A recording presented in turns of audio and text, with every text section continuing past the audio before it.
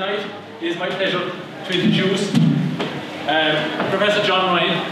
He's from Athlone, we won't hold that instant, and attended St. Joseph's and UCD, then went to the University of Arizona, Arizona on a Fulbright scholarship, and he's an international expert on soil science. Okay, well, well known. So he has spoken to us before. His third lecture, he spoke to us on Syria about two years ago, and he also spoke last year on crops that has changed the world. Okay, and now I'll ask John to talk tonight about soil and, soil and society perspectives, its history, its impact on history, culture, health, environment, and sustaining civilization. Okay, John, thanks. Thank you, John. Uh, Thank you very much for your patience. It's Murphy's Law. If anything can go wrong, it will. Uh, so I'm very pleased this evening to share with you my experiences as a soil scientist. Uh, for the last 50 years, that's a long time, I've been dealing with this subject. And I dealt with it on various aspects at night. Okay, sorry. Yep. Um, okay, I've touched upon, you still don't hear me? Uh, we'll point out. Hmm? This is. Hmm? Hello? Yeah, yeah, we're trying. Okay. So, uh, thank you very much. Again, I've been dealing with soils as a subject at the professional level for 50 years. Um, so I'm delighted to share with you some of my experiences on these. Today, today, I will deal with how soil interacts with history, culture, health, environment, and sustaining civilization. Uh, if we think for a while, sorry, I, this thing's a bit messed up. Uh, what does soil do for us? We grow crops in it, we're sustained by it. We depose or uh, dispose of waste in it. It uh, purifies our water. We provide land for recreation. We build cities on it. We build roads on it. And at the end of the day, we will all end up in the soil. So it is surprising that though it touches on our lives in so many ways, there's generally not a whole pile of awareness of it. Don't see headlines in the paper or in the TV or in the media about soil and how important it is for us. So it's like many things around us, we just take it for granted. And I'll begin with a, a quotation from one of the authorities in soils. He says, Most people are soil blind. They walk upon it, they gaze upon it on the horizon, they gain pleasure and sustenance from its bounty, but soil goes unseen and unappreciated. Modern life conspires to remove us from any connection or awareness with the soil. And when we think about it, that is true. Most of us live in cities. We're not connected with agriculture. we we do not do anything with the soil. We don't think about it. But the strange thing is, not only are we not aware of it, we have a negative view, those who think about soil. And what's something I, I hate when I go to the US and when I deal with uh, the media, they call soil dirt.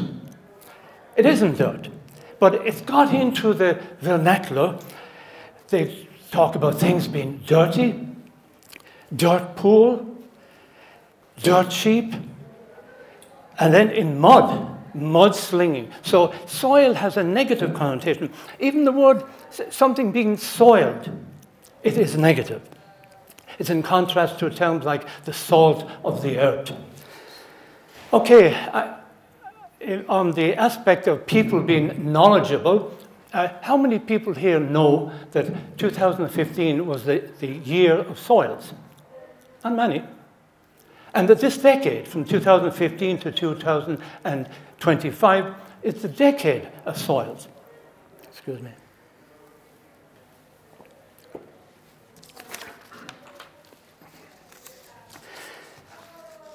The goal of, of my lecture is to rectify the issues that are implicit in the title. So that when you walk out of here tonight, you say, "Jeez, I didn't know about that. I didn't realize that. So that's the, the, my ambition. The focus of the lecture is about soil in relation to human beings. What we do with it. Now, there are many people who say the soil has feelings and all of that. There's a lot of nonsense. Soil has been around for millions of years and will be there long time after we are gone. The perspective then is how we use it and how we, we manipulate it to serve our needs. Going back to the 16th century, Leonardo da Vinci said, We know more about the movement of celestial bodies than about the soil underfoot. That's a very big statement, important statement from such a luminary as him. And it's actually true today. One of the big frontiers in soil science, indeed in any science, is soil itself in the future. And I'll explain that later. So let's have a little outline. You need to know where I'm going. Am I just rambling around like Alistair Cooke used to do?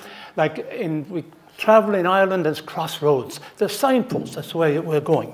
So this evening, where I'm going, I'm going to talk about soil research. How do we get the information that I and colleagues like me have? What is a soil? Do anyone, do we think about it? Maybe farmers who work it, they think about it. And then we will uh, explore early perceptions since the beginning of time, how people thought about soil. And one thing that has preoccupied us uh, from time immemorial is how plants grow. And you'd be surprised how many people don't really know how plants grow. What are the basic principles? And I will mention some of the milestones in that whole process. Then we will move on to something that's things that are immediate contrast. Talked about them the last time. Uh, food security, uh, and I'm going to go to something else, and that is erosion and soil conservation. I've been dealing with this for many years. That impinges upon society's history. And we'll consider also human health. We never think when we go to the doctor, to the pharmacy, what is the connection with soil? There's a very big connection. And then we'll touch upon climate change. That's everybody talks about climate change now. Uh, it's a reality. And I'll try to explain to you how, how connected soil is to climate change. And we'll finally end with cultural aspects. And I've done a lot of reading for this uh, and various things that you probably wouldn't know. You wouldn't come across this in, in your daily lives. And finally, we'll end up with what are the challenges for society in the future? The, the challenges for science and the challenges for soil science in particular. And how do we advance knowledge? How do we gain knowledge?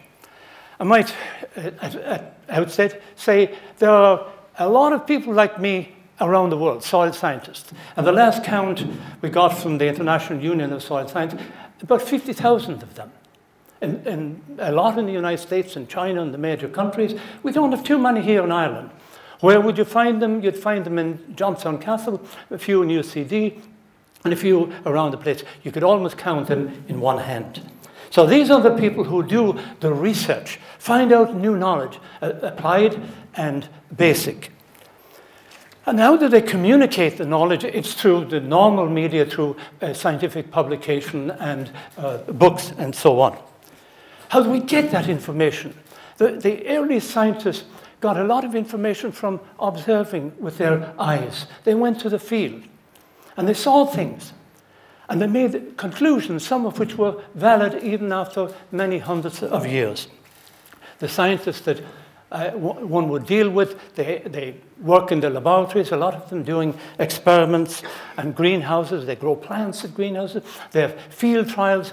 And there are some institutions in the world that have very, very long-term greenhouse, oh, sorry, uh, long, uh, long-term trials. Rothamsted in England has a trial going since 1843. And there are about five or six of them in the United States going on for over 100 years. Now, those trials tell us an awful lot about history, how soil has changed, how we have influenced the soil. Okay, um, right. Now, you might question uh, what's my connection with it? I was in Tucson a couple of weeks ago, and a lady said, I Googled your name, and uh, you teach, but what do you do? Do you do any research? So I, I have been doing a lot of research. When I started out in UCD um, in 1967, just over 50 years ago, uh, my research was agricultural. I worked on phosphate fertilizers and the chemistry of liming. This was a very important practice uh, in Ireland. It's less so now, and anybody who's a farmer understands the benefit of liming. Um, but then, and all research at that time on soils in Ireland was concerned with agriculture. Then I moved to the United States uh, in 1971, and that was, for me, a paradigm shift. A big change in my thinking, and I worked with a professor who was the first person, I think, in the world to talk about carbon it's now everybody is talking about carbon in the soil and the atmosphere. But he documented the, the global resources of carbon and how it might affect the climate. Another aspect that he worked on was gases, uh, harmful gases in the atmosphere, and how soil can absorb them. Many of you remember the protein factory here, the terrible smell that used to be offered. And I told him about that. And he said, it's very simple. He said, a, a filter from uh, peat or soil will solve that problem. Of course, it did. Okay, um, and I did a few other things in Arizona connected with irrigated agriculture, but it was primarily the environment. And 1971 was the beginning of the environment movement in the United States. The EPA was set up in 1971. Then I moved to the Middle East, and that was a, a defining move, move, movement sorry, in my life. And at the university, I um, tackled a variety of subjects uh, connected with soil and with, uh, with agronomy, and with soil genesis, how soils evolve over time.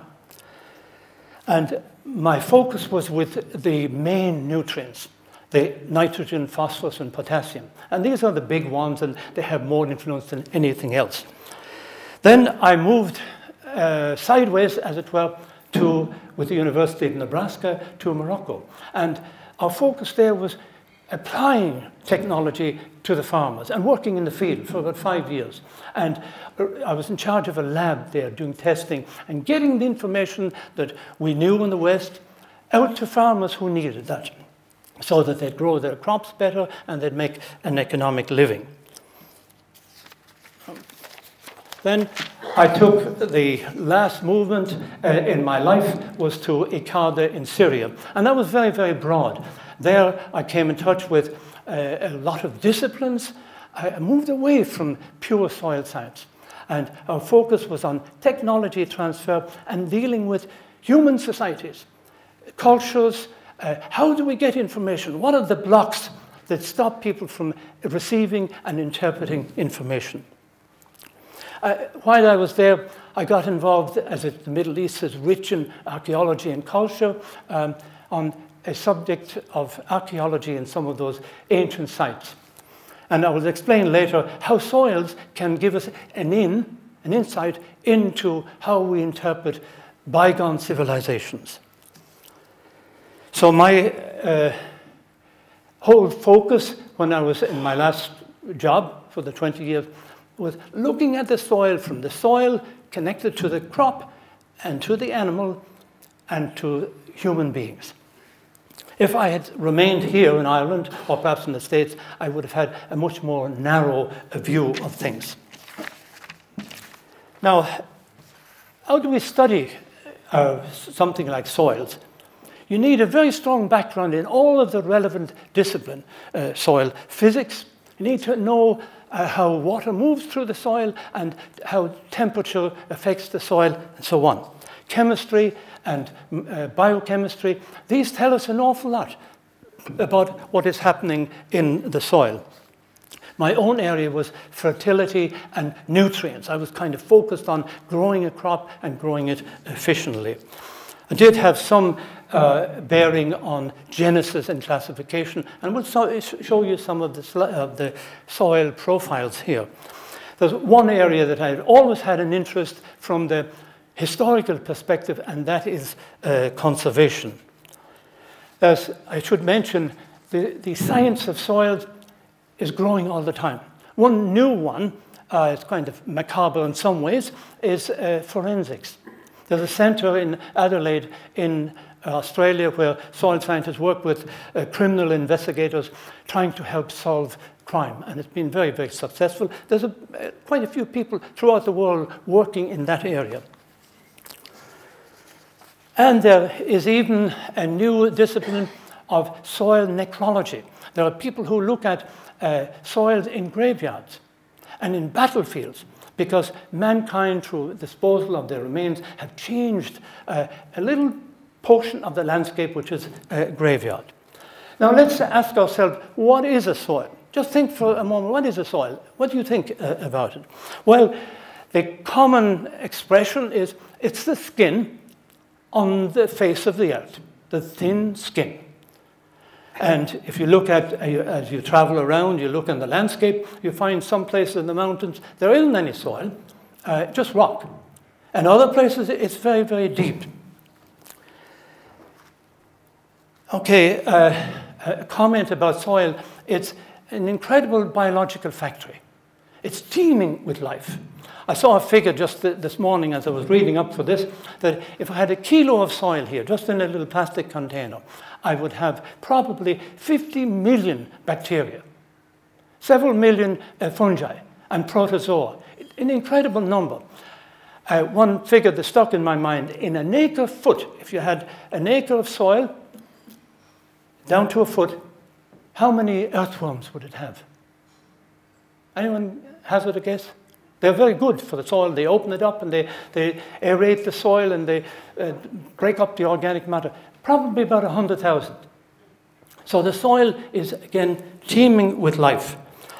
Uh, what is it made up of? We don't actually see what it's made of unless we break it and with, with water or some other compounds. It's made of sand, we can visualize sand, silt, and clay, which is that very fine, microscopic thing. That is the, the element that gives soil its unique uh, properties.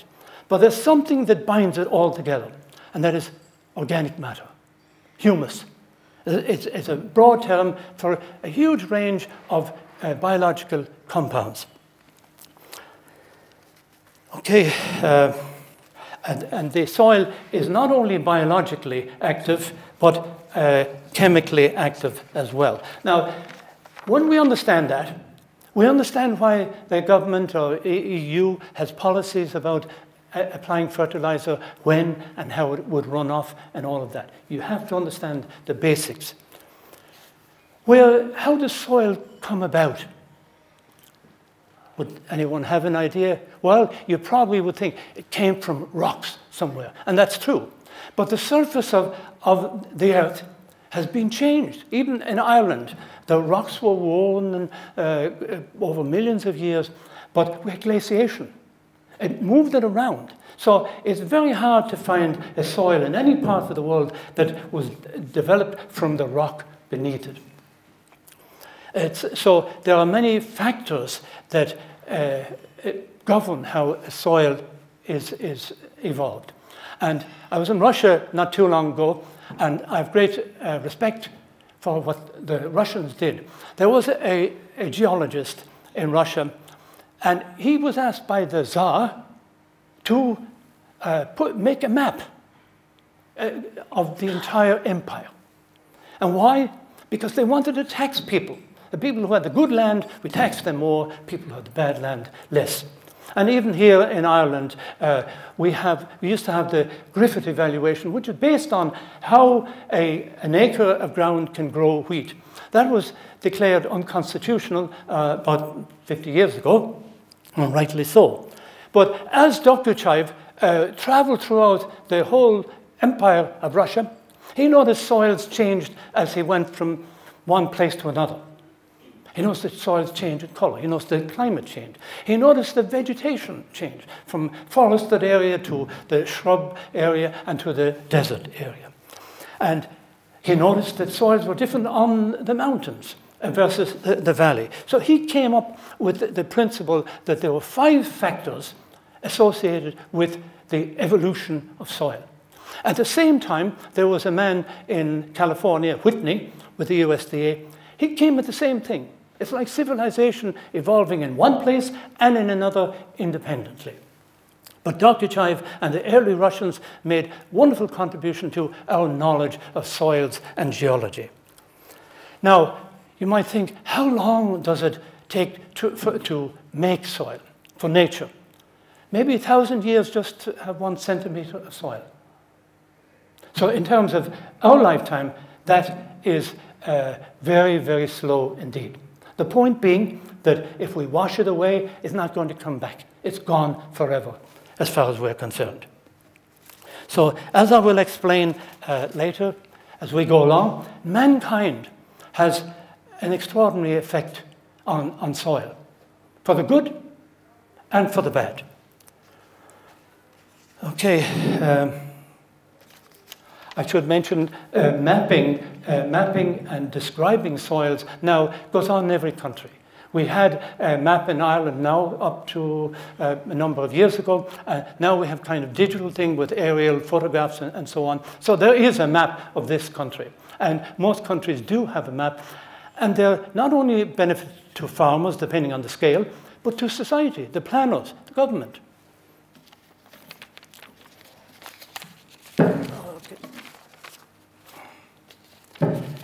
There's a huge variety of soils in the world. Now, we can't speak of uh, soils in the same way we talk about plants or animals. We know that a sheep is different from a goat or from a horse, but soils, in times, they merge. There's no abrupt change between one and another. There probably is 50,000 soils throughout the world according to the current classification. There are many systems historically to classify soils. The Chinese, very smart fellows, those guys, uh, 4,000 years ago, they had a classification system. Most countries have, have some system. There's the UNESCO system. And, but the biggest one now that has the currency uh, throughout the world is the one from the United States, largely because it's based on what you see and what you measure not what you think uh, is the process by which the soil evolved. So there are many uh, different kinds of, of, soils. Then the classification process is a difficult one, uh, but it is very, very effective. So I remember when I took a soils course first uh, in UCD, and the lecturer was standing on the, uh, the podium and working with chalk and showing layers and, and talking about it. I had no idea actually what he talked about. And none of us had. It meant nothing, something on a chalkboard uh, describing nature. We had to get out and see it. So, for you to understand what I'm talking about here, this is what we have here. I, have selected out a few soils, and now this is a, a pit. You dig a pit, and you get down into the pit and you see the layers and you describe them. So to the trained eye, that means an awful lot. That is about a meter and a half here, this type of soil. We have some of those uh, in Kildare and the Midlands of Ireland, uh, in temperate regions of the world, in the United States. You see on top there, it's brownish, it's the topsoil the more organic matter. And down below, and it's not a wonderful, this slide has been reproduced many times, uh, it's a layer where the, the clay has been washed down into the bottom and it's accumulated. So that's one type of soil. Next, Richard. Now, this, just, this shows you that these are cuttings on, on a field. They're not, they're not something that you just post the pictures. They're related to the actual landscape. I could show you many of these, but this is not a lecture entirely on soils. Go on. Next. We'll go fast through these because I don't want to. This is another one, a lot more organic matter on the, on the top and that whiter layer. Go ahead, Richard. Now, there's another landscape so the point being is you're getting a, looking at the, the landscape in three dimensions. Go ahead, Richard. Now, uh, this was obviously it's from a dry area of the world. This one it comes from Arizona. See the gravel on top, and there's hardly any organic matter. This is from a part of the world, Iraq, or uh, Syria, eastern Syria, where you have salinity. It's, it's kind of a river valley. That, that salt is on, on top. Go ahead. Now, hold it a second. Now, this one is in river valleys. I've seen most of these in, in, in various countries throughout the world. This would, you'd find in the Nile Valley in Euphrates because you see the layers, the sediment from the continuous flooding is there. Now, this is another one in high elevation. It's so cold. We have some of them in Ireland up in the Wicklow Mountains where the soil actually is washed down over time. These are very acid soils. Go ahead. Now, this one, uh, we have, this is like what they call a histosol, which is like peat. We have them. They're in the northern part of the United States and in Russia and so on. Uh, they're very rich in organic matter used for horticulture. Next, uh, this one is coming, you find this kind of a soil in the southern part of the United States. Uh, and in China, all across that kind of semi-arid belt. Next. Uh, this one is, is from up near Alaska, northern Canada. And in the, in the lower part there, that's frozen. That's permafrost. Go ahead. Now, this is again a temperate area. It's not very well developed. There's a lot of stones. We have several like that in Ireland. Go ahead. Now, this is a typical one. Uh, we find a lot of these in Ireland, again, temperate. You see the rock underneath. Now, this one is a lot of organic matter. In the Ukraine, in, in Russia, you find them in Texas. This, these are very, very rich soils. And the wheat producing soils, Argentina and, Uruguay. That's, and again, you see huge amount of organic matter. And what we are doing when we cultivate is getting rid of a lot of a lot of that organic matter, leaving it off to the atmosphere. This one is a tropical one. We find this in Brazil, on, in the Philippines, places like that. Go ahead. Same, highly weathered. Weathering and aging proceed much faster in tropical parts of the world because of the high temperatures and moisture all the time. They are not frozen. Okay?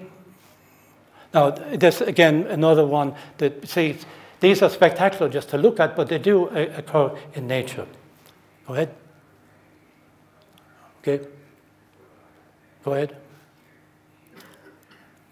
So just to show you that there are so many different types. There, this one, the last one you show uh, there, a darker one, that's full of clay. And it's a very, very difficult kind of, of, of soil to work. It's hard to walk in it. You, it the clay sticks to, to your feet. And they're terrible for, for uh, engineering works, building roads. And they're often very, very deep. They're just disaster. You couldn't have septic tanks or any kind of thing on, on that. So they do appear in many countries. They have very big cracks because the clay shrinking and, and swelling. Go ahead. I think we're, we're okay now. Now, let's move on to the next topic. That's fine. We can leave it up if you want to. Uh, the earliest perceptions. Since the dawn of humanity, soil was associated with the origin of man. Clay was the spring of life. The book of Genesis tells us that Adam, uh, it's, it's a word in, it was equal to soil in Hebrew. I never thought of that. And surprise, surprise, Eve was life in Hebrew. The word humus is so important to, to the soil, to hold things together, and to the life of the soil. Uh, that has the same root as homo, hence humanity. So we can see then the connection with uh, soil and the evolution of mankind. We are creatures of the soil, and you go to church, you go to Ash Wednesday, and they put the ash in your head, and the priest says, Dust thou art, and dust thou, and unto dust thou shalt return. In the, in there, there's connection with religions. I, I, read a lot of stuff there, and there's a lot of literature, and synthesized in this, it says, earliest humans venerated soils, as it produced crops to sustain them. They didn't know why, but they knew that it was so important that the crops grew. And of course, they thank God. This is the bounty of God. Now, when the crop didn't grow, God was angry. And people like the, the Aztecs and the Mayans, they had to make sacrifices to the gods so that they would uh, ensure that the crop would grow. It's like when thunder was coming in, in the past, the ancients thought God is, is angry. And uh, a lot of people uh, figured that uh, when a crop failed, it was punishment for their sins. there's a huge connection with, the, with religion and soils. And I had one note in the Shinto religion, there are 10 deities associated with soil. Okay. Now, let's look at how people thought. We'll go to the Greeks. Everybody attributes an awful lot of the good ideas to the Greeks and Aristotle. Now, he was a sharp fellow and he taught about a lot of things and great philosopher. And his idea about plants, he started thinking about plants too. He said plants are inverted animals, that they have their heads in the ground and they suck whatever they needed to grow. In some ways, he was right. It's rather colorful language to explain it. Um, it was a good shot at it anyway.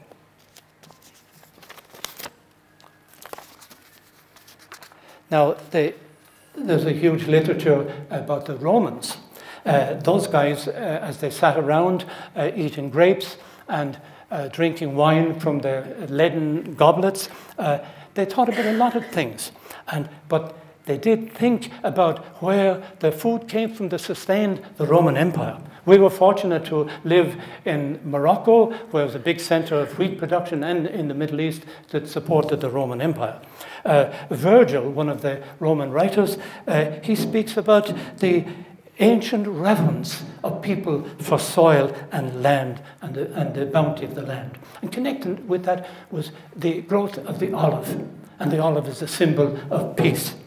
Now, the two others that have written extensively, Cato and Columella, uh, they described in their writings the high esteem that the, the Romans had for agriculture. Now, the Romans, at the end of that period, if you could kind of say, what did they really tell us? They told us about manures, and they knew the effect of manures on soil. Legumes, growing legumes that fixed nitrogen. They didn't know about nitrogen, but they knew it was good for the soil. They knew about drainage about, uh, and this was very important, they knew that some soils, by cultivating, they became depleted. Message, the soil is not uh, a perfect medium, uh, it runs out. It becomes de de depleted uh, with time. They knew about structure. They even described smells of soil. If you ever dig new spuds, you know, in the early part of the year, you just get this beautiful smell. It's the actinomyces, uh, in myces in the soil. And that's an indication of a very rich, uh, uh, biologically vibrant soil. So they knew all about that. They knew about salts. They even were able to test soil by licking it and they get the, the effect of salt. Now, salt is, of course, so important to uh, society. Salt, uh, salary, and all of these things come from, the word, from salt.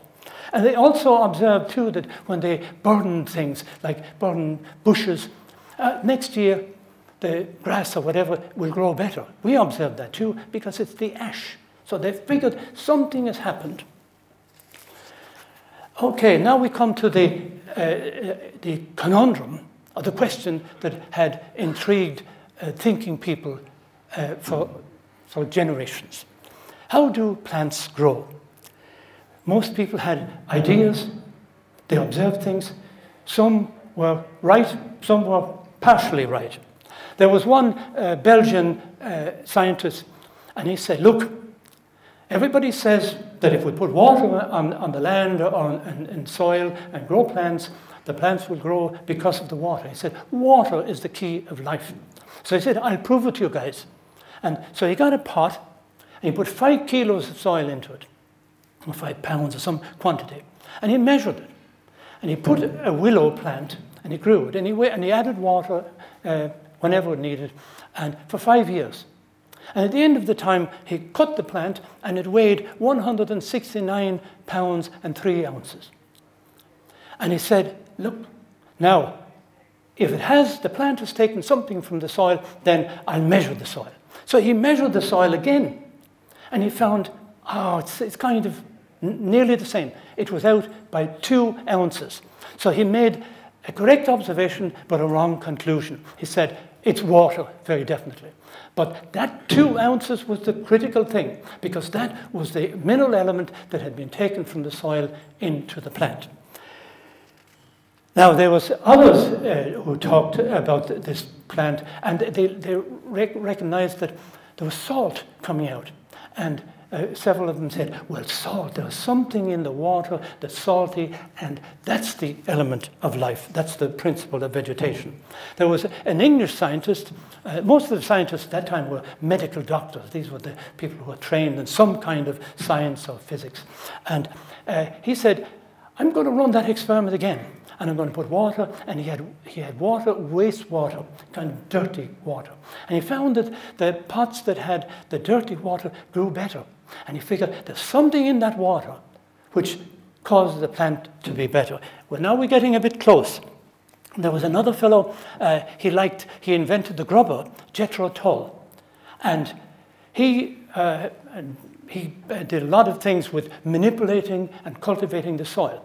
And, and he said, when you cultivate the soil, you break it down uh, like you plow and then you harrow and so on, and it gets finer and finer. And he figured that with all this cultivation, the soil will get so, so small that the plant can absorb, the, the, take it in. Now, that, we know that is not true. But uh, at least he was partially right. And then to complete the story, um, we had some people who looked at, at the roots of plants and found that there were this rhizobia and that they were able to fix nitrogen. Um, and then there was other people like Priestley and uh, Ingenhousz. They, they looked at how plants uh, interact with the air. And they take in carbon dioxide and give out uh, oxygen. So the story of plant production or crop growth is almost complete in the 18th century. And that brings us to the era of mineral nutrition. We wouldn't be here today, farming wouldn't be viable today without mineral nutrition. And the, the name that's number one in that, and the father of that, well, in fact, there are two, uh, Sprengel, two Germans, Karl Sprengel and uh, Justus von Liebig. And they showed that the, the crops need these elements, nitrogen, phosphorus, and all of that, which was uh, amazing at the time because nobody had measured these things. How they visualized that these elements existed. And Liebig, it seems that Sprengel, uh, he, he did a lot of the work and he rightfully should have been credited with finding this, uh, but Liebig was the, the, the, more better guy at public relations. And he came up with, Liebig came with a, a principle called the law of the minimum. And for farmers, it's like this. If you need nitrogen uh, and phosphorus, but you don't put any potassium, the crop won't grow. You need all of these elements uh, to be applied to the crop because they all have specific functions. So that was the law of the minimum. And I have a note to myself here that these discoveries, so the scientific age of soils really began in the middle of the 19th century. And it paralleled growth of the physical sciences, physics and chemistry and instrumentation and so on. We use all these technologies to get where we are in advancing our soil knowledge. Okay. Um, so we're now uh, in, in the era of, we know an awful lot about, we've come a long way uh, about how plants are nourished. And now that brings us to the era of fertilization. In other words, feeding plants. Plants wouldn't grow unless they're fed. They have to get the nutrients from the soil, or you have to add it to the soil. They, in the early days, they, they got uh, 18th century, 19th century, I got a material called guano uh, from South America. It was bird droppings. There was a lot of it there, and it provided phosphorus and nitrogen. But after a time, uh, it, those resources were depleted. It cost a lot of money to bring that stuff uh, from uh, South America. But the defining moment where things turned was in 1843 in, in England. There were two guys called a chemist and his friend, uh, Gilbert and Lawes. Uh, they invented superphosphate.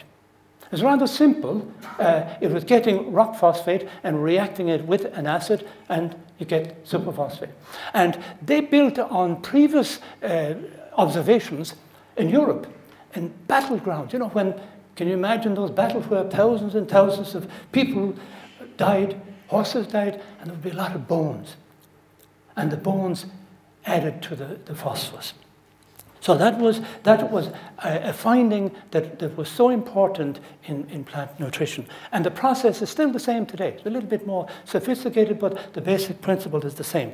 And to move on a bit, at the end of the 19th century, uh, the finding of potash mines in Germany and in Canada, but mainly in Germany. That was the, the known agricultural world at the time. And the, another big one completing the, the trio was uh, the Haber-Bosch process, and this was by, again, two Germans. I mean, the Germans made a huge contribution to our knowledge of this science. And they were able to take nitrogen from the atmosphere in an incredible, they won, both of them got the Nobel Prize for it. And um, it might surprise any of you that the air we breathe has 78% nitrogen. It's truly extraordinary. We never think about it. I've asked classes of mine, how much nitrogen in the atmosphere? And people say, oh, maybe 1%, too. It's 78%. It's incredible. Almost the three, four-fifths of the air is pure nitrogen. Okay, and the fixation of that nitrogen then is the basis for all the chemical fertilizers we have today. Now we'll go on to another subject that touches close to us, and that's the food security in contrast. I won't delve too much into it because he did a wonderful job on it at the last lecture. And let's bear in mind a few comments that virtually all our food comes from land resources. Not from hydroponics. People say, ah, oh, you can grow it in the sea, you can do this and that. No, the reality is that we depend on land for producing our calories. Um, and connected with that, why do we produce crops at all? To feed people. We have 9 billion people uh, by estimation by 2050. That is an awful lot of people. And can we feed them? Not sure. Uh, basically, when we're looking at feeding people, Divide the total number of people by the number of acres or hectares. In 1950, per capita in the world is 0.4, 0.45. In year 2000, it was 0.22. So it's about 0.15 now. So we're getting smaller amounts of land for more and more people. We need, in essence, as the land base is not growing, we need to produce more from less land. In fact, land is decreasing. How is it de decreasing? Well, there are many ways uh, to consider this. We're building roads on it. We're building houses on it. We're building factories on it. We're building golf courses on it. I, I saw figures recently, the Chinese were very upset. They built 26 golf courses around Beijing. 26. Now we're using up good agricultural land. So this is our problem. We've got to produce more from less land and we consider all the competing uh, resources. In essence, in the next 30 years, we've got to increase food production. We've got to double it. Now, food quality, we all have opinions on, on food quality. Um, we tend to, in production systems, focus on quantity things that you can weigh. If you go to the supermarket, you see things, you get buy them by weight. Quality is not something that is easily uh, defined. The market doesn't always put a, price on it. Now, when we consider quality from the uh, um, nutrition standpoint, we must consider all the elements that are in that plant or that plant part that's of economic importance to us. And there are about 50 of them. We've got to consider potassium, calcium, magnesium. Any, I notice we have one vet here. We know that uh, calcium is essential for milk fever and uh, magnesium for grass tetany and so on. Uh, in the 1950s, it might surprise you here that most of the cattle here were deficient in phosphorus in Ireland. I've seen pictures of cattle eating old clothes and that, because they knew somehow that if they eat it, they would get something from these rags. It doesn't happen now because uh, fertilizer has been added and the levels have, have built up. Okay, um, let's move on fast here. Now, I'm coming now to a subject that is dear to me, and in Ireland we, we're not too much aware of it. That is the cons soil conservation, soil erosion. Conservation is the antidote for erosion. And I'll, I'll, start with the statement from the book that I read recently. The history of civilization is interwoven with the development of agriculture and the relationship of humans and soil. Now, therefore, we have to look at what is erosion. Uh, there are two kinds. There's geological erosion. That always happens.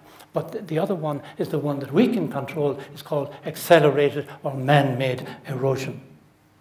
And erosion, as I said before, is forever in human terms. Now, when I came to the Middle East, I was landed in a situation where erosion had a major factor in those societies. And, and dictating those civilizations. This. Okay. Um, so the whole process of erosion or degradation is a, a broader term. Actually, began when in, with settled agriculture, when people stopped being hunter-gatherers and started, started settling in towns and started cultivating. Then the, this process began uh, erosion and degradation has been uh, called in the literature the silent earthquake. It's like getting old. You don't get up some morning and say, God, I'm old. You don't. It's happening all the time. Now, look, from a historical standpoint, uh, many of you have made, uh, may have read uh, Jared Diamond's book, Collapse from Easter Island. Now, this was a civilization way out, out in, in the Pacific there was quite a lot of them. The population increased, but they cut down all the trees. They couldn't bring in any trees from any place else, and the civilization disappeared. There's a wonderful book by uh, Jared Diamond. They, I've been to the Yucatan some years ago, and I observed that there was hardly any soil around those uh, Mayan pyramids. And it was erosion that was a major factor in having these people, that civilization disappear. Okay, and as we come to the Middle East, uh, I observed in, in Jordan, in Turkey, uh, in Syria, all uh, very strong uh, evidence of what had happened by man's misuse of the landscape. And particularly in Lebanon, the Phoenicians, they were great traders. They cut down all the trees uh, and, and the mountain, very steep mountains, for their ships and, and exported the timber. There was a cost uh, to it. Now, if any of you have been to Ephesus in, in Turkey, now, I stood there at the port. We're told this was a port. Ships came in, and you could walk across because it was full of sediment. The sea was out uh, a few kilometers. And that was all the sediment that was washed down from the entire watershed. It destroyed uh, uh, the whole port of, of Ephesus. We buried cities in, in North Africa from, from dust, from man's abuse of the land. We find now, how do they try to cope with that? Uh, by terracing. There's terracing in Peru and in Latin America, in other places, and in Lebanon and in Yemen. There are beautiful stone terraces in Yemen that go back thousands of years.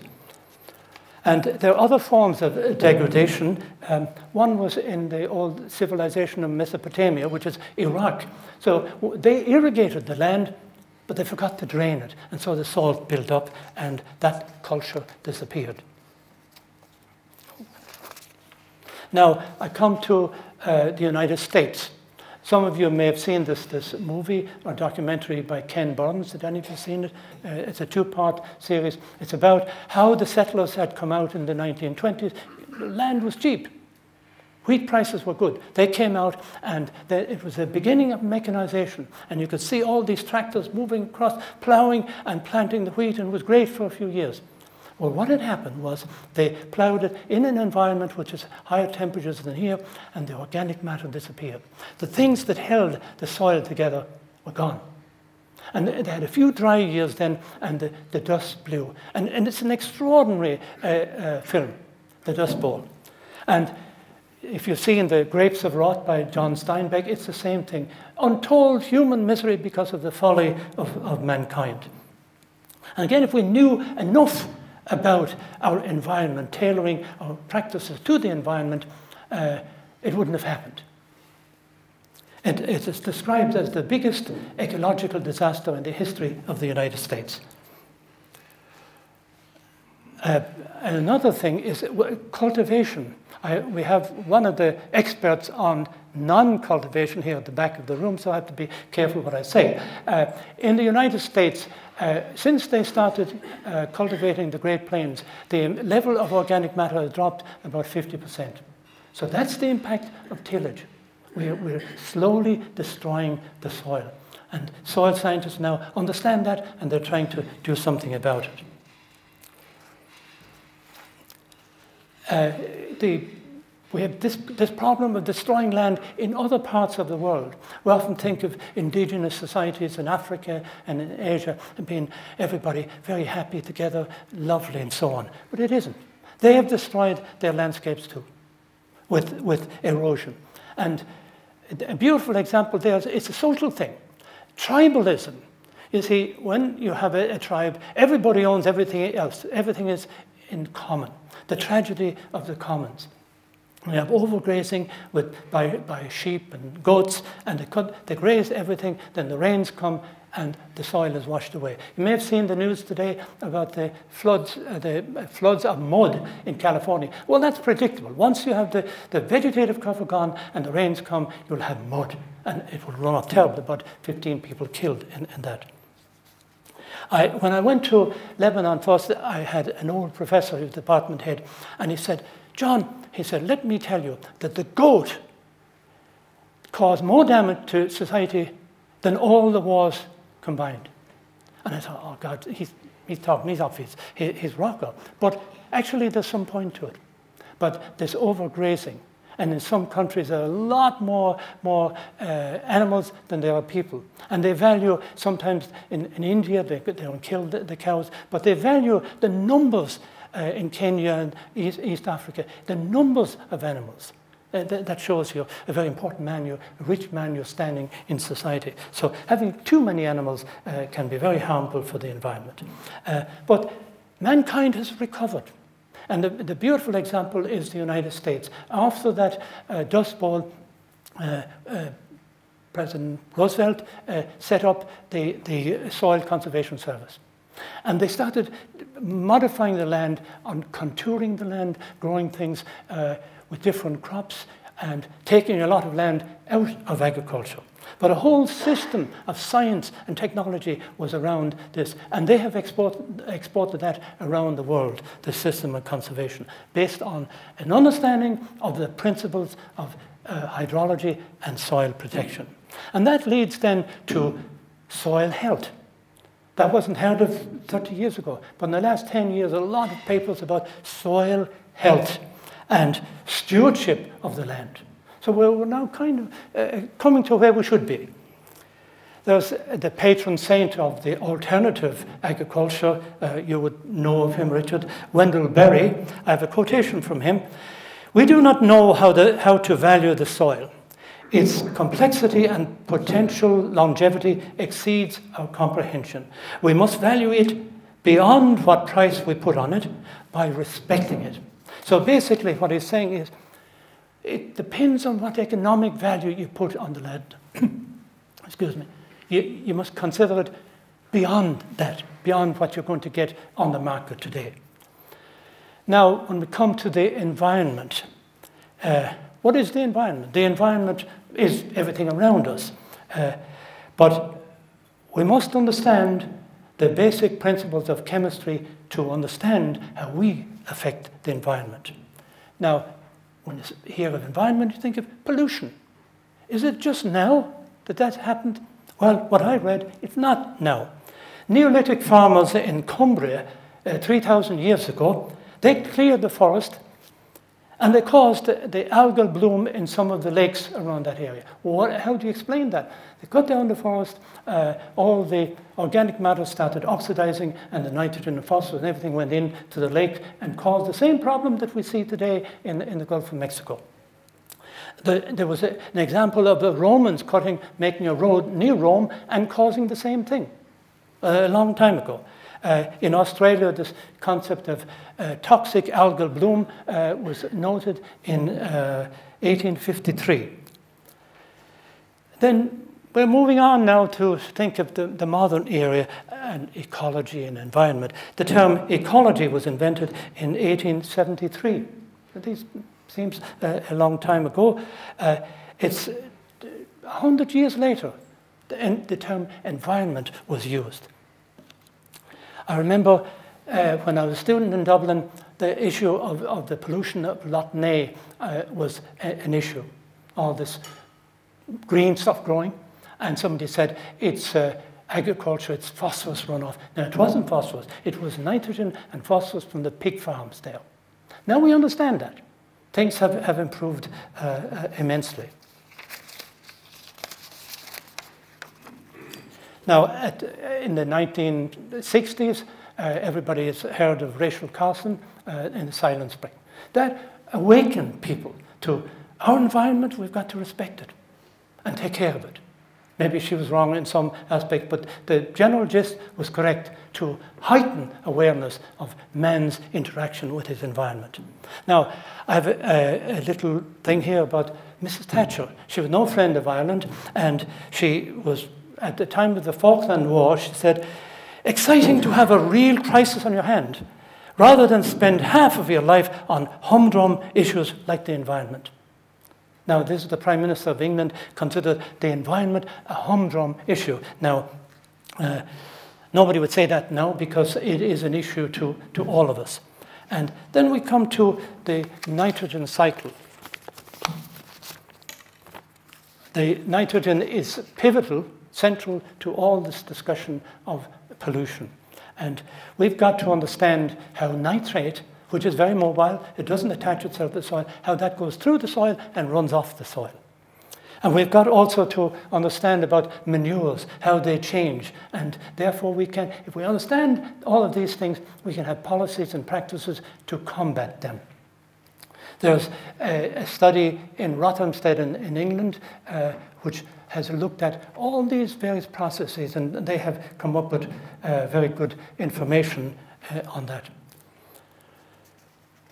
I was really surprised when I, I traveled, flew over the Gulf of Mexico one time. I was going to New Orleans, and I looked down. I thought we were coming in, and I didn't see any sign of, of roads or forests, just green, green, green, green. And then we saw New Orleans in the horizon, and later I found this is all algal bloom because from the nitrogen, phosphorus, and everything from the Midwest.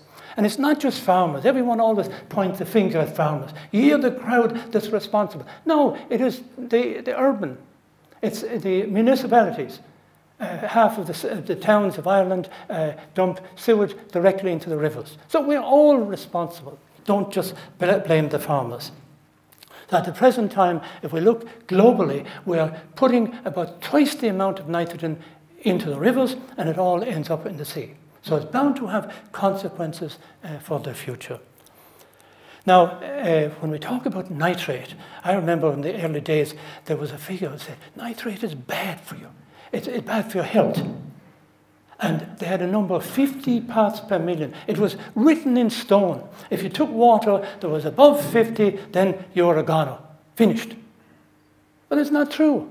It's, somebody came up with, with this and said 50, and everybody else took it as, as a fact. And there have been numerous studies now that showed that this is not the case at all. In fact, nitrate is good for you. It's, it's, it is beneficial. We're told first it causes stomach cancer and, and this and that. There's no scientific and medical evidence to support that claim.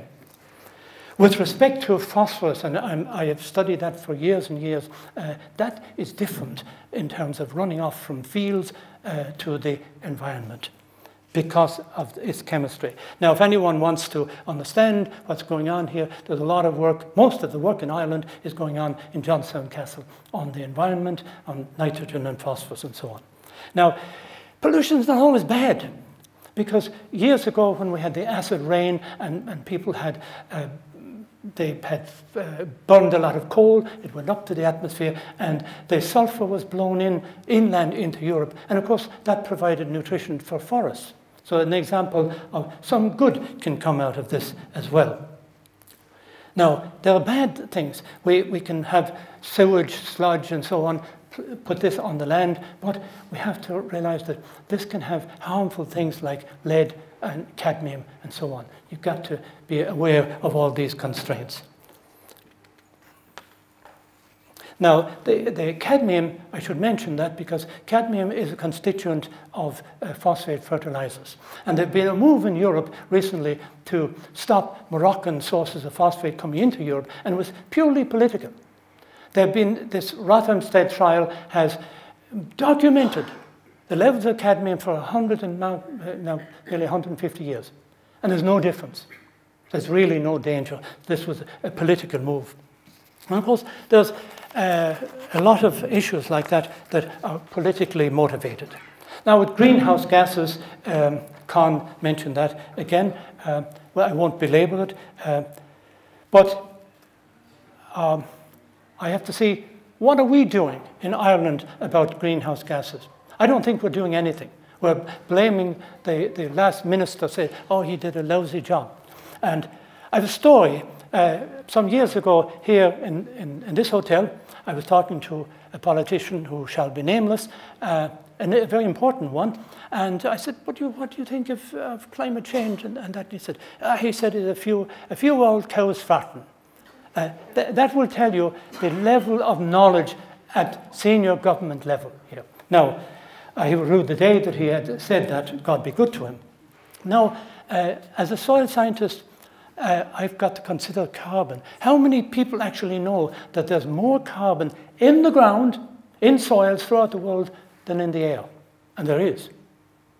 And our challenge as agricultural scientists is to keep it that way and have crops take it from the atmosphere and keep it in the ground.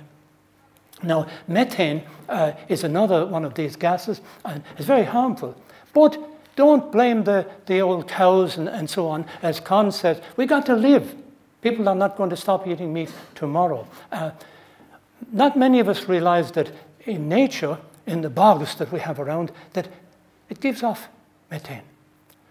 Most of the rice in the world, in, the, in, in the Thailand and China and so on, is grown under flooded conditions and it gives off an incredible amount of methane. So we're not going to stop that. There are some things we cannot change. The good scientist is a person who sees what you've got to live with and what can you change. So everything that is uh, man-made is not bad and nature is not always good. The nitrous oxide is a very difficult one. That's a powerful greenhouse gas. And uh, it's associated with agriculture, with fertilization. And, but with our understanding of the system, we can stop the leakages. The good news is there's an awful lot of research throughout the world on fertilizer use efficiency. We're trying to ensure that what nutrients are put into the ground get into the plant, not off to the atmosphere, not into the river. And that makes economic sense as well for the farmer. There's uh, that with fertilizing practices. Another good development uh, is minimum tillage. We have our world's experts sitting there in the, in the back, and we're changing the way we think. We don't need to plow and to harrow and do all of these things. In fact, minimum, and that is, is an old way. We control weeds that way. But th this is a development. Most of the land uh, cultivated in the United States is minimum or no-till, the same in South America. Okay. Um, so if we look at climate change on the broad perspective, somebody say, it's going to be good for us, things are going to be warm, and we're going to cultivate land uh, in places that we didn't do before. Well, on aggregate, it's going to be negative because climate has negatively impacting the entire Middle East. It's getting drier, and th there's a real problem there. And that gives rise to a lot of social and political instability. And the human health, uh, I've touched on this in some of my research over the years, not in a major way. Uh, some things are positive and negative. We have the, the basic principle that rich soils give good nutrition, poor soils, poor nutrition. And there's an area in, in the soil, the geomedicine, the connection with soil and medicine. And from the, it's interesting to look at the historical literature. Uh, the Greeks, uh, they looked, they saw certain diseases occurred in certain areas in their country. The Chinese uh, did the same thing in their empire. Now, Marco Polo, uh, he's a guy who traveled from Italy, went right across Asia, and he noticed that in some places there was goiter. People had this swelling here in the neck, uh, deficiency of iodine. And did any of you know that South Tipperary is deficient in, in, in iodine? Now, we've solved that problem uh, because of iodized salt. But if we're looking at print of, I won't say primitive societies, other societies inland, it is a, a common problem today. Okay, um,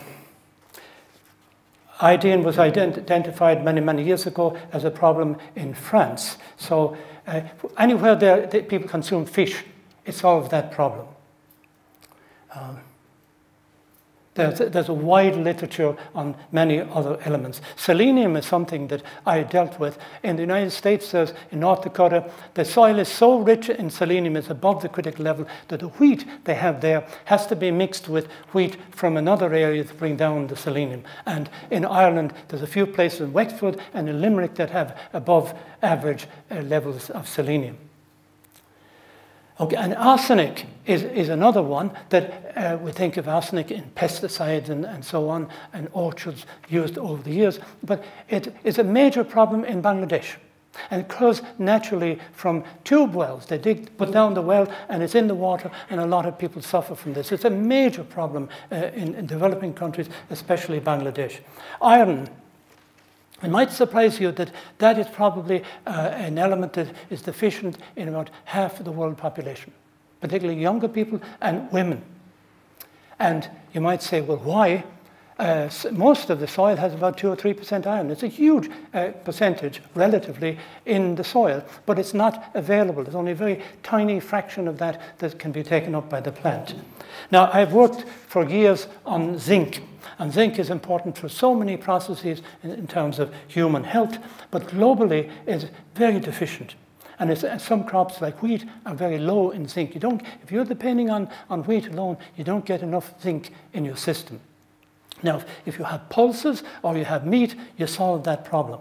There's a place in Egypt, Fayoum, and virtually everybody there, they eat the wheat and the, the vegetables from there are deficient in zinc. Okay, um, zinc in the past, it was strange that it was added to a soil here through superphosphate. And people didn't know that because there's a large percentage of it in the superphosphate, but as the fertilizer became purer, they got rid of the zinc. So it's becoming an emerging problem. There's a scientist in Turkey, he's done a lot of work for many years, and he's come up with adding zinc to the, the fertilizer, and it has a huge impact. They estimate that the benefit to the society was $300 million. Asbestos, uh, that now we all know it's in uh, insulation material and so on, but it's a natural thing. There are many minerals, uh, asbestos minerals. I have a story about, I have a friend who's a geology professor in Las Vegas, and she discovered that all the soil is very rich in, in that. She tried to publish a paper about that with a doctor friend, and she got a knock on her door from the president of the university and said, hey, you can't publish that. Because if that information got out with the dust in Las Vegas and that valley, um, uh, the casino people and the developers, they would not be very happy at all. So there is uh, an economic interest there, in contrast to the scientific one. Okay, uh, there's a, a subdiscipline in the health called geophagy. And uh, now that's people eating, eating soil through one form or the other. And I have a, uh, a statement here. Every person has eaten soil in one form or another. We have spinach, eat it, and there's dust in it. We get dust into our system. But this was uh, comes from geo, earth, and phage, to eat in Greek. Uh, this was a deliberate attempt by people to get elements into them. They didn't know why, but they knew if they took it, it was good for them. The Egyptians, the Romans, uh, the Greeks, all had the practice of like getting tablets or um, aspirin, of taking uh, soil in lozenges, some of them, and the, people would, would, would uh, think that it's better for the liver, the, and so anemia especially iron is essential for anemia. In, in Kenya and Zambia and places like that, you'll find that in, in local markets they will be selling soil. Uh, kaolinite is one of the minerals uh, that it absorbs, it takes poison from the system. It's part of this kaopectate, which has another function as well. Um, these, so soil can de detoxify food. Okay, the, uh, I have a note here about the Aboriginals in Australia. Uh, they were depending on the local produce, and uh, their uh, survey showed every one of them were low in zinc. Okay, uh, I mentioned here about animals. Uh, they instinctively know if they're lacking in something. That's hence salt licks for animals. But we humans, we don't have that uh, in, innate intuition. Okay. And it might surprise us about soil that it's a source of antibiotics. Uh, the bacteria and the fungi and the, uh, the, the actinomyces, they produce streptomycin. Uh, that was discovered uh, in the 1940s uh, by Selman Waksman. He was a microbiologist, got the Nobel Prize for it. Came from soil. Uh, penicillin was discovered by Fleming by accident. There are many others, a whole range of them that come from the soil. I said here only 20% of the organisms that of the millions of them in the soil have yet to be identified. What are the negative effects of soil? Dust causes a whole range of diseases. At one stage, I, one doctor diagnosed me as uh, having valley fever. I didn't know what it, what it, was. I was in the United States, and he said it came from the dust. Uh, fortunately, it worked its way out of the system, and that so you can valley fever, anthrax, tetanus uh, from clostridial, clostridial bacteria, leprosy, biblical connotations, and our stomach parasites. So the soil, uh, not a good idea to, to eat it. Uh, then comes the soil, the radon gas. This is something that's occurring naturally. Now, note here, most antibacterial agents originated in the soil, uh, 81%. 40% of prescription drugs, 60% of new cancer drugs. Get close now.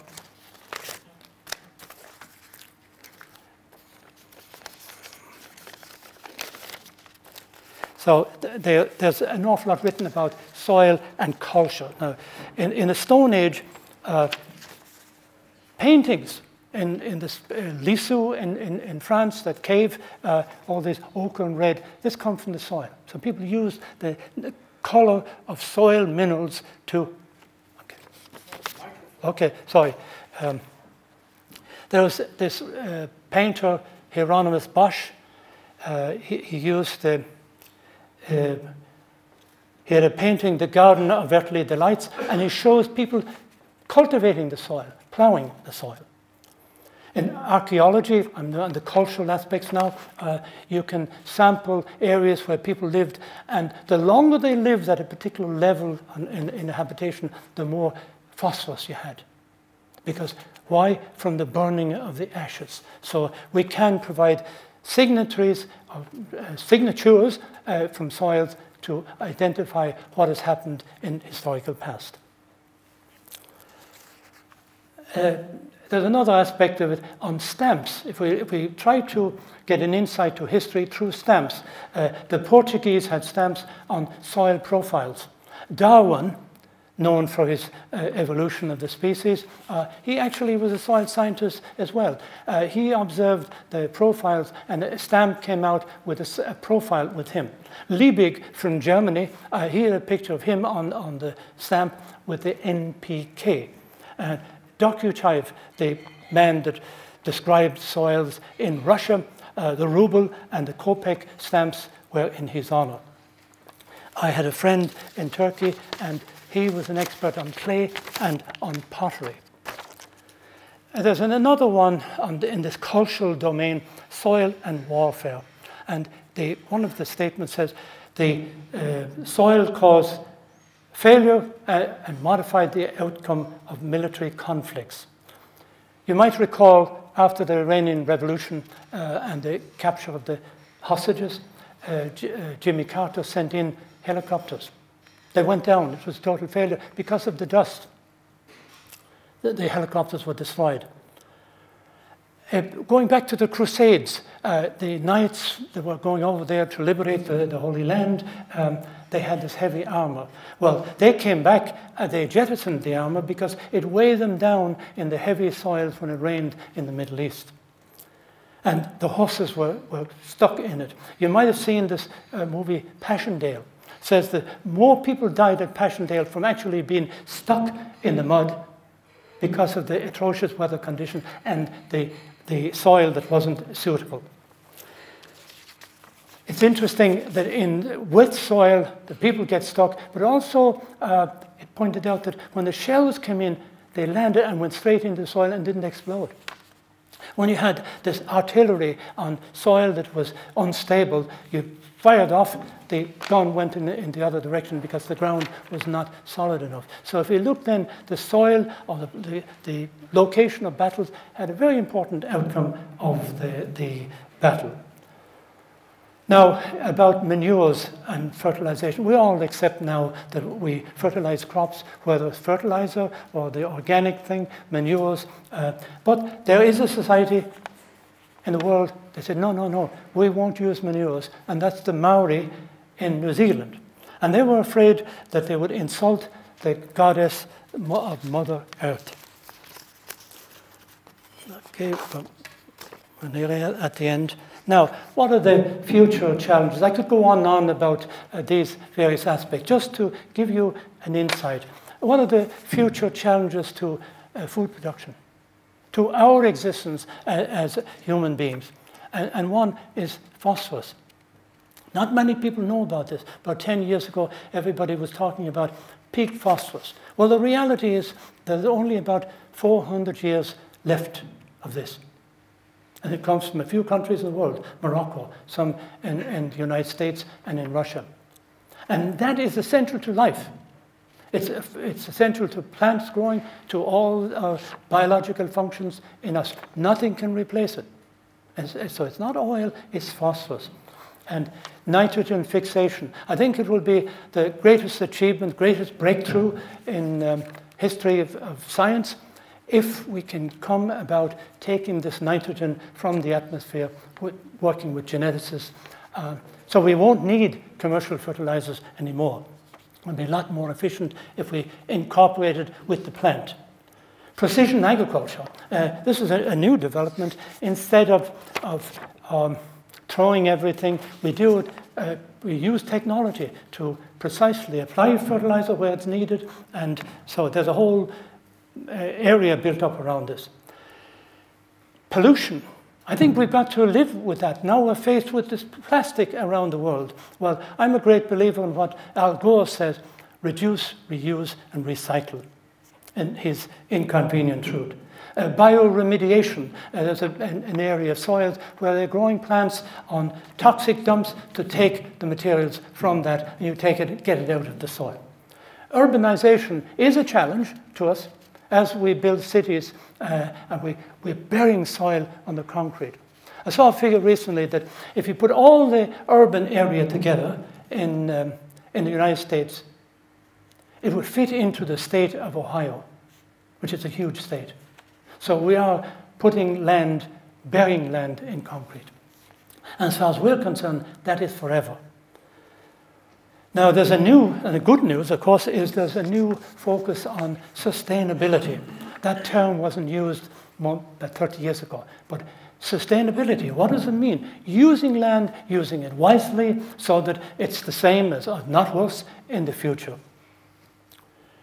We must, I'm not a uh, very religious person, but I'm a spiritual person in some sense. Uh, we've got to treat soil, like the ancients, as something sacred. Not like the Americans, and they don't really mean it, but it's dirt. It's not dirt. It's essential to our life and our survival.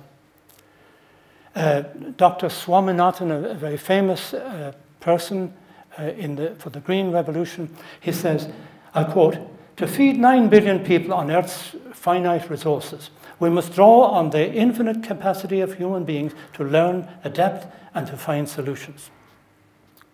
Ourselves education, science, that will come to the rescue. I have a note to myself that in many other areas, we have spokespeople uh, in the movie industry and so on. And in geography, we have David Attenborough to publicize uh, science. Soil science does need a David Attenborough. I have some generic challenges uh, here that I mentioned. In an age of tweet, Wikipedia, and fake news, truth is often a casualty. And we see that in, in the media today.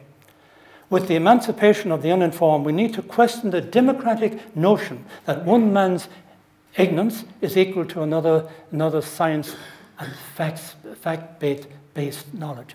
In other words, we have people having opinions with no basis whatsoever. Anyone can have an opinion, and that's as good as somebody who is the expert.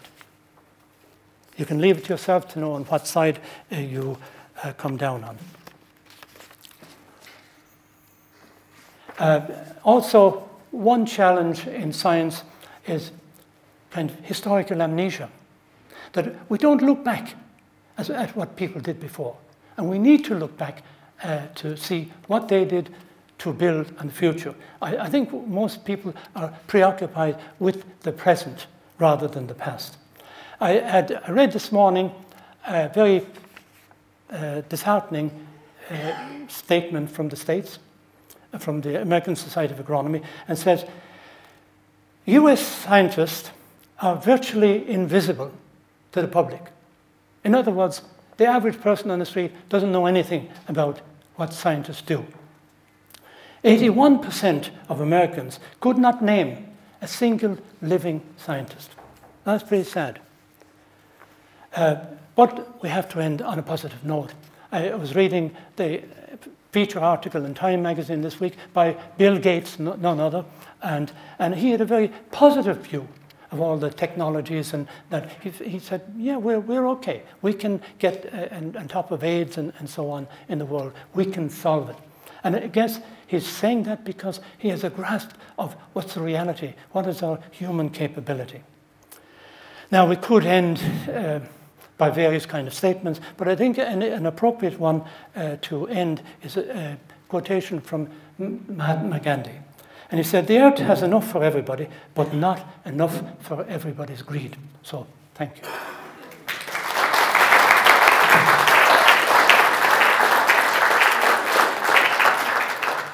Uh, thank you very much, John. Uh, I think everybody will be uh, knowing by the faces of think everybody was in charge for the last hour.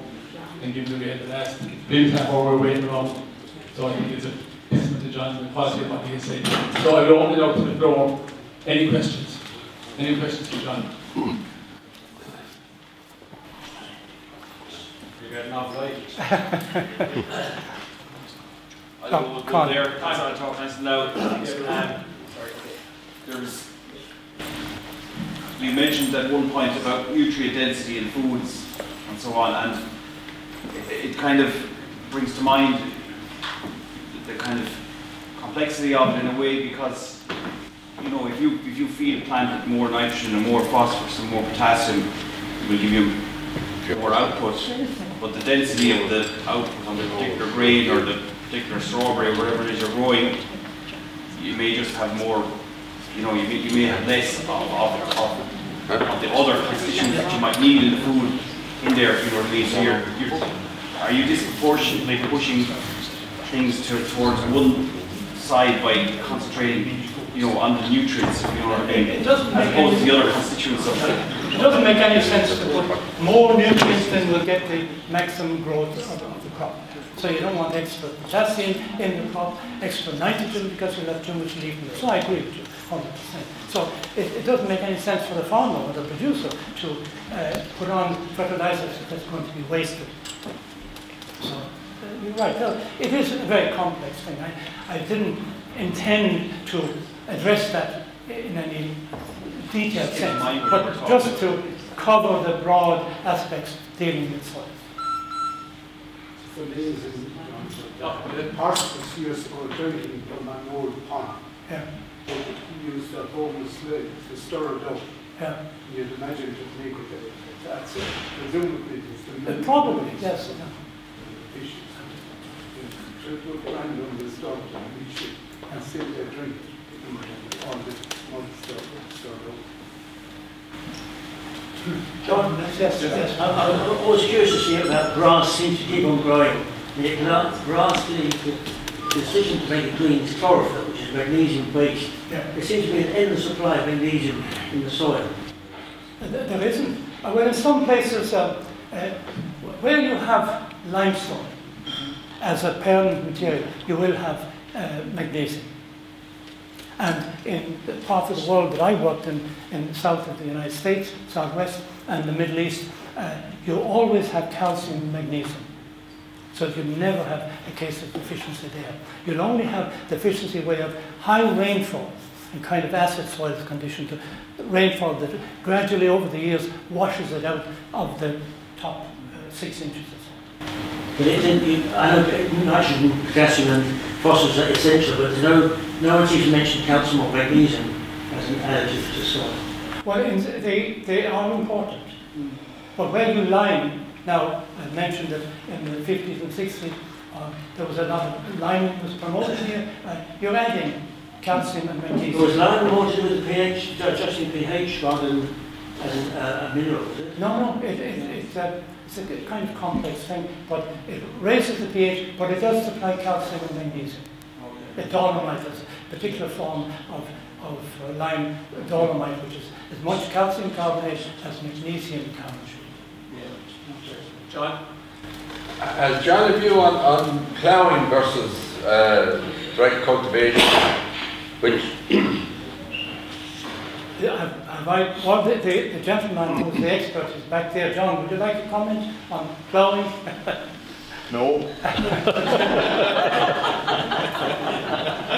the wise man. But again, there are, if, if you don't, if you minimize ploughing, the experience in the United States has been that you lose, use less energy by, and, and you have the same crop. That has been the experience. Most of the crop in the United States, the corn and soybeans, is all with direct Yeah, I, I suppose uh, maybe going back to one of the points that you raised there in the, in the United States situation, that a lot of soils have lost 50% of their organic matter. A lot of tillage soils in Ireland, in terms of organic matter content, they're at 50% of what the equivalent soil under grassland would be. That's in the next uh, or nearby field. So we, we actually do have, even though we do have relatively high soil organic matter content in our soils, we do have an issue in our tillage soils in this country and it's one of the things that we do badly need to address. You know, I, I think um, we have over mechanized crop production in the sense that we overly intensively cultivate soil, and it's costing farmers a lot of money directly in terms of machinery costs, but also uh, indirectly in terms of extra nutrition costs in the form of fertilizer, which you mentioned as well. But it's, um, there's a very strong traditional and cultural link to ploughing here in Ireland, and that's going to be a very difficult um, barrier to break down. But we're, we're moving there piece by piece. I was involved in a study in the Middle East, in Syria, and we had some person who specialised in agronomy and mechanization, and they had an experiment there with conventional tillage, ploughing and all of this, and direct drill yields were the same over a 10-year period, virtually every year. It very dependent on, on the rainfall. But what the difference was, the economic one, your costs were less uh, with the direct drill and the minimum tillage. Yields were the same, but your cost of inputs were less. Yes, this might be on the way. What happens if glyphosate is banned? We have glyphosate with, with uh, cultivation. Glyphosate and Roundup. I knew that this was going to come up. but I personally, uh, I personally had no problem with. In the past, why didn't people cultivate the soil and all that? It's to get rid of weeds. Glyphosate is the most effective. It's been used for about 50 years in the United States, and I personally don't see any problem.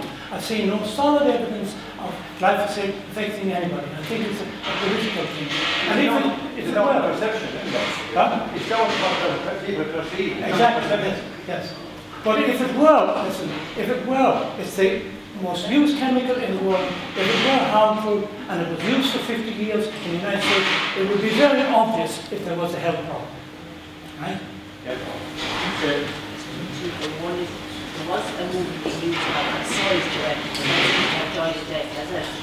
The soils directive has come from the European Union, but it seems to have A stores. soil directory? Yeah. Directive? Yeah. No, Is there, there- there is, uh, I don't know if a soil, dir- there's a nitrate directive. Yeah, but the other, question I wanted to ask was about, you know, at the Sahara, when you look in China, the desert seems to be spreading, is, that a big issue or, you know, seems to be an issue with science? Oh, it is, but where you have uh, drought conditions and you don't have appropriate uh, uh, management of, of the landscape, and this is happening in the Middle East. Can you, do- can it be counteracted? Yeah, Well, I mentioned if you read about the Dust Bowl, what they have done there, they, what they did was wonderful. They had, uh, they planted millions of trees against the wind. They did contour planting. They uh, got out of agriculture in soils that were on areas that were very vulnerable uh, to desertification. So you can do something about it. But you just must understand the system and your environment. You must understand the rainfall and the temperature, you know, and the likelihood of drought. And we can predict uh, reasonably well all of those things. Just the last question, I don't know the science, or don't know background of the science, so I'm not very familiar, but just a statement that you made made me think of my grandchildren. Um, there is up to, only up to 400 years left of phosphate. Yeah. So how do we promote more of that, or how do we keep it, what should we, like, how come it's going to be gone in 400 years? It, it is because uh, we have them, we know the geologists will tell us um, where it is. And I've, I've been to Morocco and I've been to these sites and I came across uh, a, a survey by the US, USDA of all the resources in the world. They can tell you where, where they are. There's only a few countries have them and they know how much is left and they know what concentrations are in that rock. So the when the price goes up, then you can uh, delve into the, the, the tailings, what is left. It pays you to get the rock and, and work it. It's a very complex process. But what they are doing at the agronomic level, uh, in crop management, they're being a lot more precise in direct drilling, putting the fertilizer near, near the seed instead of scattering it all, all, all over. And there's a big movement now to take uh, phosphorus from sewage and all the waste products, kind of recycled. Lots and lots of papers published on, on that. So that is positive. But the reality is that we have very limited, in human terms, very limited amounts of phosphorus for the future. We have to be aware of that. And we have to recycle it in as much as possible. But people like to talk about that. There was a, a lot of uh, political controversy when these papers came out about peak phosphorus. That's the same with, oil. We're to run out of that too. We don't want it. Uh, something in the future, we don't want to think about it. It's, it's, it's a reality. Okay. I have to stand up, ladies and gentlemen. John is a very good neighbor and a very good friend, right? And I came here, I have decided I'm saying nothing. But I have to say something about the last topic, Roundup. Yes, yeah, please, cheer Roundup, glyphosate.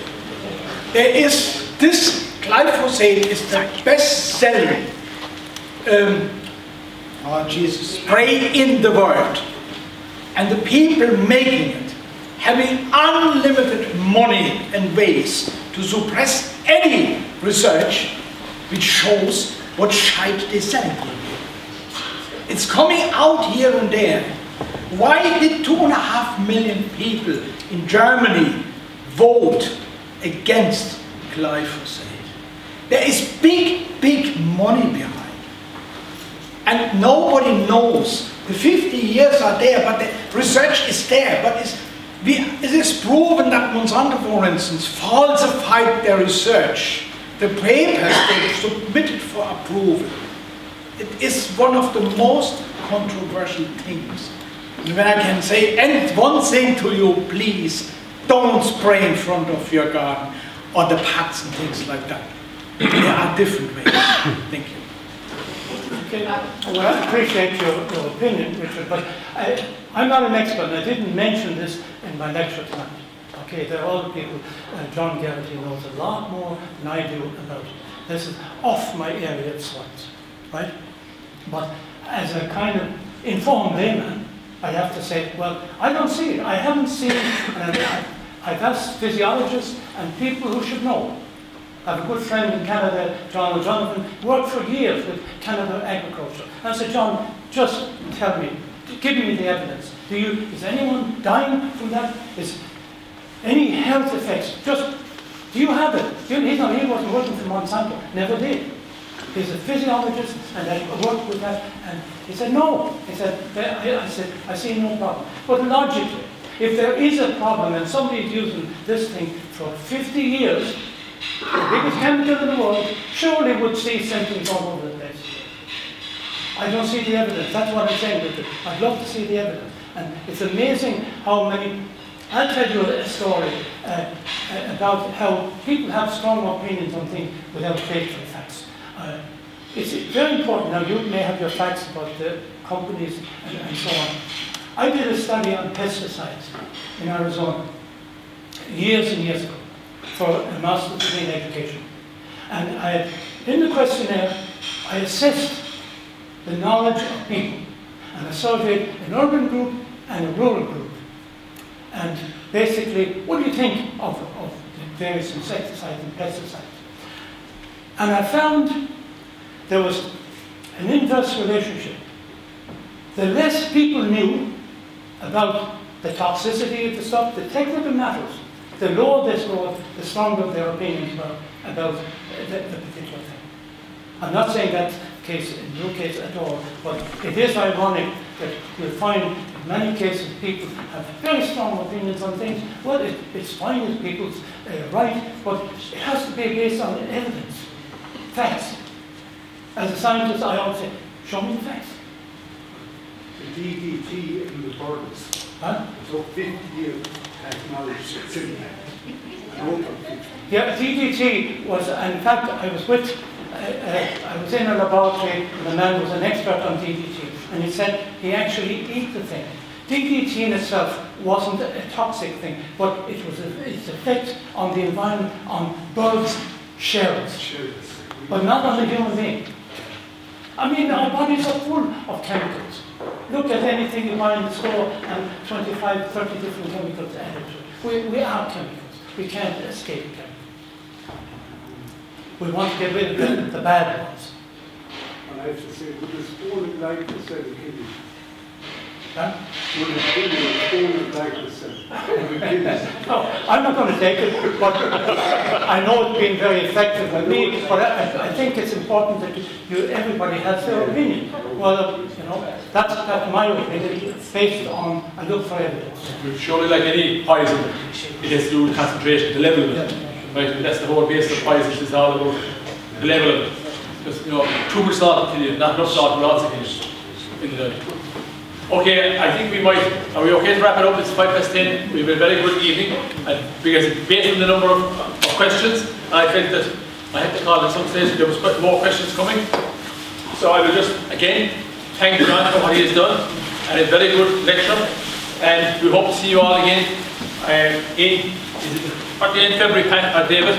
1st of February. 1st of February, David Power is going to do a very different subject, also interesting. England and Europe in the time of Shakespeare's plays. He's going to set the context for that, so that is on. Also, our annual subscription for those who want, you wish to be members, is uh, we can you can look at you can be um, Kathleen Darcy, take any subscriptions you want. Okay, so stay home and thanks again. Thank you all.